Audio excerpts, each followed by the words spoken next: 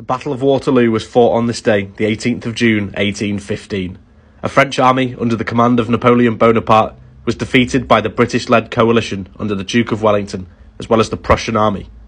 The battle marked the end of the Napoleonic Wars and was the decisive end to Napoleon's conquests and his time as the Emperor of France.